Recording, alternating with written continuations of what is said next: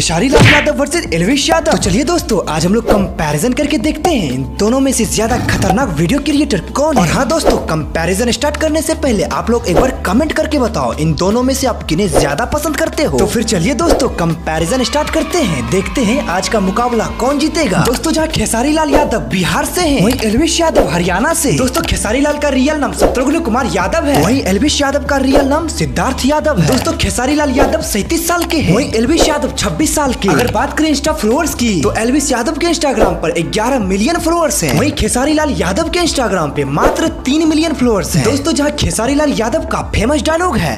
फाटल के साटल वहीं एलविश यादव का जितने भी बालक है ना अट्ठारह साल से लेकर तेईस साल तक के। भाई लड़की के चक्कर में फंसो ही मत भाई। दोस्तों जहाँ एलविश यादव अपनी पूरी कमाई का 30 से 40 परसेंट गरीबों में दान कर देते हैं वहीं खेसारी लाल यादव 10 से 15 परसेंट ही गरीबों में दान कर पाते हैं।